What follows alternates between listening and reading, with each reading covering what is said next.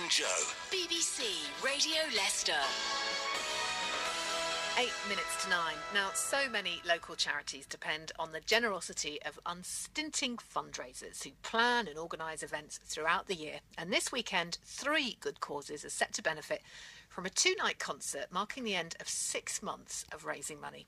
The Y Theatre in Leicester is hosting a show called Singing for Happiness in aid of Combat Stress, a veterans charity, Sands, which supports families suffering the trauma of neonatal death, and Nightline Leicester, which is a student support charity. Well, one of the organisers of this mammoth event is Greg Griffiths, who can join us now. Morning, Greg. Morning. What have you got planned this weekend then? Tell us about the concert. Um, the concert is aimed around our concept of using singing to help with the recovery of mental health um, and emotional well-being.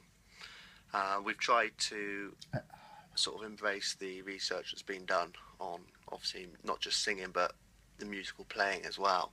And as a result, we've taken on or a kind um, friend of mine, Lucy Campbell from Eden, and agreed that her and Libby Johnson would perform at the concert on the two-night concert.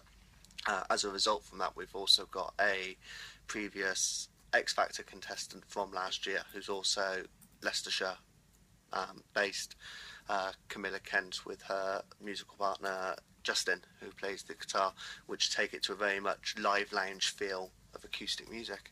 Very nice. Now, why these three charities in particular? What's what's the reason for supporting them?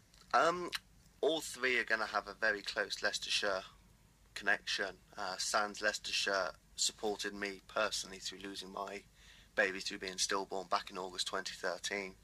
Uh, Nightline Leicester is based on one of the other co-organisers, Laura Godfrey, who's who works with Nightline um, in their fundraising side. And Combat Stress is mainly because in the next 18 months, the new rehabilitation centre that the forces have launched will be based just outside Loughborough and combat stress are going to be playing a big part in that centre.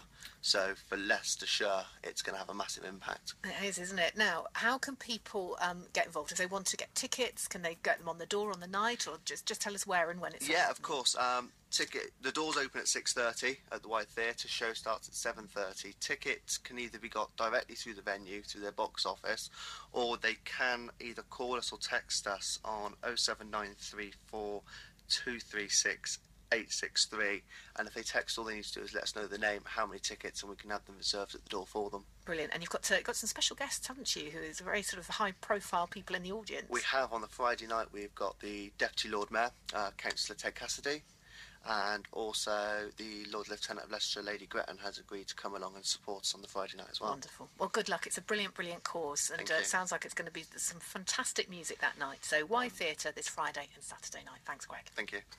Uh, a new, healthier school.